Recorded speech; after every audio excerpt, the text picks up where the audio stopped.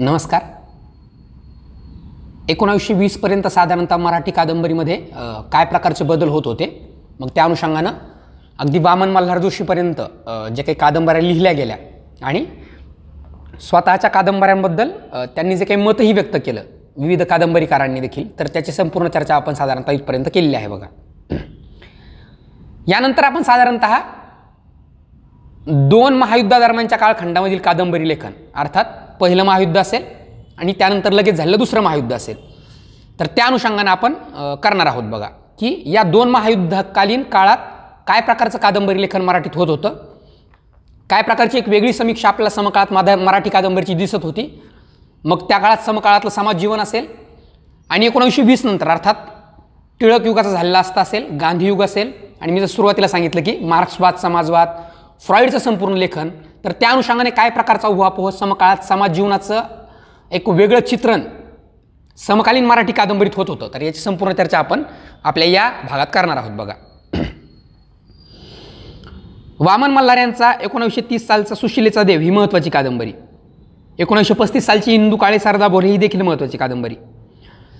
हरिभाऊ वामनराव केतकर व्यक्ती यांनी व्यक्तिविकासाचे मूल्य शिरोधारे मानूनच कादंबरी लिहिलेली आपल्या साधारणतः दिसून येते. त्याबाबत प्राध्यापक बालकुलकर्णी स्वतःचं मत व्यक्त करतात. ते म्हणतात की वामनरावांची सर्वभूती आत्मभावाची स्वाभिमान विस्मृतीची आत्मयज्ञाची जगातील अनिष्टे कर्तव्यबुद्धीने दूर करण्याबाबतची जी विचारसरणी आहे तिचेच परिणत स्वरूप आपणास सुशिलेचा देव यामध्ये पाहायला मिळते. अर्थात ज्या काही कादंबऱ्या मी सुरुवातीला सांगितल्या की सुशिलेचा देव असेल किंवा इंदू काळे सरला भोळे असेल तर या अनुषंगाने देखील प्राध्यापक बालकुलकर्णी यांनी समकाळात जे काही कादंबरी लिखाण झालं तर त्याबद्दल व्यक्त केलेलं हे मत आहे बघा साधारणतः वामनरावांबद्दल. डॉक्टर केतकर हे देखील या काळातले अतिशय महत्त्वाचे कादंबरीकार आणि आपल्याला यू पी एस सीला ब्राह्मण कन्या ही कादंबरी अभ्यासाला असल्या कारणामुळे देखील केतकरांचं महत्त्व आपल्या दृष्टीनं अजूनच वाढायला लागतं बघा. तर त्या अनुषंगानं केतकरांच्या कादंबरी हे आपण बघूयात. त्यांची एकोणावीसशे सव्वीस साली आलेली गोंडवनातील प्रियमवदा ही कादंबरी. या कादंबरीत त्यांनी पुनर्विवाह प्रौढविवाह यातून सुधारकांच्या बिनधाडसी धोरणाचा उपहास देखील आपल्याला केलेला दिसून येतो.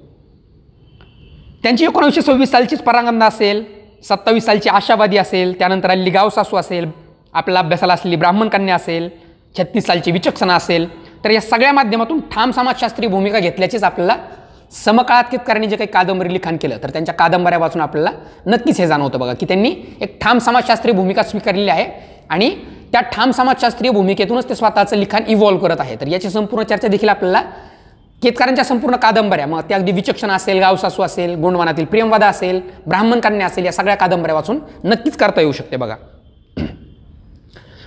व्यक्ती परिस्थिती सापेक्षत्वाचे चित्रण केतकरांच्या इतके भरीवपणे मराठी कादंबरीत क्वचितच कोणी केले असेल असे मत साधारणतः कुसुमावतीबाईंनी डॉक्टर केतकरांच्या कादंबऱ्याबद्दल मत व्यक्त केलं आहे बघा. दुर्गा भागवत त्यांच्या कादंबऱ्याबद्दल म्हणतात की केतकरांनी सामाजिक समस्यांमधली गतिशीलता मराठी कादंबरीला दाखवण्याचं साधारणतः काम केलं आहे केतकरांना आपण ज्या काळात जगतो त्याच काळाचे. त्यातील स्त्री पुरुषांच्या जीवनातील नव्याने येण्याची शक्यता असलेले आणि आलेल्या समस्यांचे भान होते याची देखील आपल्याला संपूर्ण चर्चा केतकरांच्या कादंबऱ्या वाचून नक्कीच करता येऊ शकते बघा. केतकर स्वतःच्या कादंबऱ्याबद्दल किंवा समकाळाबद्दल म्हणतात की आपण समाजाचे जितके व्यापक स्वरूप दाखवता येईल तितके दाखवावे. जितक्या विविध प्रकृती लोकांसमोर आणता येईल तितक्या आणाव्यात. ही मनीषा चित्तात वागत असल्यामुळे कादंबरीतील विविध प्रकार माझ्याकडून वर्णिले गेलेले आहेत साधारणतः अशी चर्चा. श्री वे केतकर अर्थात या संपूर्ण कादंबऱ्याचे जे काही लेखक आहेत त्या केतकरांनी केलेले आपल्याला साधारणतः दिसून येते बघा. केतकरांची कादंबरी समस्यानिष्ठ होती. प्रियमवादा ते ब्राह्मण कन्या पाहिले तर त्यांच्या कथन कौशल्यात रचनाचातुर्यात व्यक्तिचित्रणात हळूहळू फरक पडलेला दिसतो. तर त्या अनुषंगानं समाजशास्त्राच्या अनुषंगानं एक वेगळा उहापोह करण्याची समकालीन समाजस्थितीचं एक वेगळं चित्रण करण्याची देखील ओढ आपल्याला समकाळात केतकरांच्या कादंबऱ्यामधून आलेली साधारणतः दिसून येते. तर ही साधारणतः आपली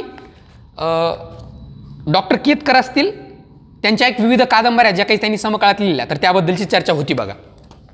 केतकरानंतर प्राध्यापक नासी फडके हे देखील महत्त्वाचेच कादंबरीकार. अर्थात तंत्रावर एक विशिष्ट प्रकारचा एक वेगळा भर असल्यामुळं फडके देखील समकाळात अतिशय गाजलेलेच कादंबरीकार आपल्याला पाहता येतात बघा.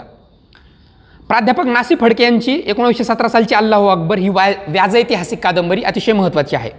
एकोणीसशे पंचवीस सालची कोलाब्याची दांडी असेल अठ्ठावीस सालची जादूगर असेल अठ्ठावीस सालची दौलत असेल तर त्या अनुषंगानं एखादी हकीकत मनोरंजक पद्धतीने सांगता येईल. म्हणून कादंबरी रचण्याची साधारणचा चर्चा आपल्याला प्राध्यापक नासी फडके यांनी समकाळात केलेली साधारणतः दिसून येते बघा. एकतीस साली आलेली आटकेपार ही देखील महत्त्वाचीच कादंबरी. फडक्यांची कादंबरी निवेदन पद्धतीमुळे वर्णन कौशल्यामुळे कथानक बांधणीच्या कुशलतेमुळे वेगळी होती. अर्थात मी जर सुरुवातीला सांगितलं की तंत्राचा एक वेगळा बाज आपल्याला फडक्यांच्या संपूर्ण कादंबरीमध्ये साधारणतः दिसून येतो. आणि आपण नंतर समीक्षाच्या दृष्टिकोनातून जरी फडक्यांची चर्चा केली तरी सुद्धा तंत्राधिष्ठित लेखन करण्याचं काम फडकीने समकाळात केलं. शिवाय कलेसाठी कला हा जो एक वेगळा पंथ त्यांचा होता तर त्या अनुषंगाने देखील त्यांनी कादंबरीच्या माध्यमातून एक वेगळा किंवा एक वेगळी वाट चोखाळ्याचं आपल्याला समकाळात पाहता येतं. एकोणीसशे सतरा ते तीस दरम्यानच्या सामाजिक राजकीय घटनांचा प्रभाव फडक्यांच्या कादंबरीवर पडलेला आपल्याला दिसतो. आणि त्या अनुषंगानं मराठी भाषेच्या दरबारात दौलत उधळणारा जादूगार म्हणूनच फडक्यांचं वर्णन अनेक समीक्षकांनी केलेली देखील आपल्याला समकाळात पाहता येतं. प्रतिभेच्या पंखावर आरूढ होऊन एका वेगळ्या स्वप्ननगरीत घेऊन जाण्यासाठी कादंबरी लिहायची असते असं फडक्यांचं मत आहे. म्हणजे मी सुरुवातीला जसं सांगितलं की तंत्रावरच त्यांचा अतिशय महत्त्वाचा भर आपल्याला फडके देताना दिसून येतात बघा. त्यांचं लेखनच तंत्रविषयक जाणीव निर्माण करणार होतं. सुखदुःख मिश्रित अशा जीवनाच्या एकाच अंगांचे व्याजचित्रण करणाऱ्या या लोकप्रिय कादंबरीकाराला जीवनाचा तळ कधी गवसला नाही. जीवनातील गुंतागुंतीचे स्वरूप कधी त्यांना उलगडता आले नाही. त्यांनी तरुण स्त्री पुरुषांच्या स्वप्नाळू वृत्तीची भूक स्वप्नरंजनात्मक कादंबरीने भागवली. आणि त्या अनुषंगानं जीवनाचा तळ न गाठता एका वेगळ्या अनुषंगानं तंत्रावर भर देऊन स्वतःच्या कादंबरीचा विकास साधारणतः आपल्याला फडके यांनी समकाळात मग दौलत असेल जादूगार असेल आणि महाराष्ट्राच्या महाराष्ट्र भाषेच्या दरबारात दौलत उधळणारा जादूगार म्हणून त्यांची अनेक समीक्षकांनी जरी पाठराखण केलेली असली तरी सुद्धा तंत्राच्या पुढे किंवा स्वप्नरंजनाच्या पुढे काही फडक्यांना जाता आलेलं नाही असं देखील मत अनेक समीक्षकांनी समकाळात फडके यांच्या कादंबऱ्या वाचून निर्माण व्यक्त केलेलं होतं बघा. तर ही साधारणतः आपली केतकर असतील आणि फडके असतील तर यांच्याबाबतची चर्चा होती बघा. यानंतर खांडेकरांनी काय प्रकारचं वेगळं कादंबरी लिखाण केलं? किंवा मग फडक्यानंतर किंवा फडक्यांच्या समकाळातच काय प्रकारचं एक वेगळं कादंबरी लिखाण मराठी कादंबरी विश्वात होत होतं? तर याची संपूर्ण चर्चा आपण आपल्या पुढील भागात करूयात बघा. धन्यवाद.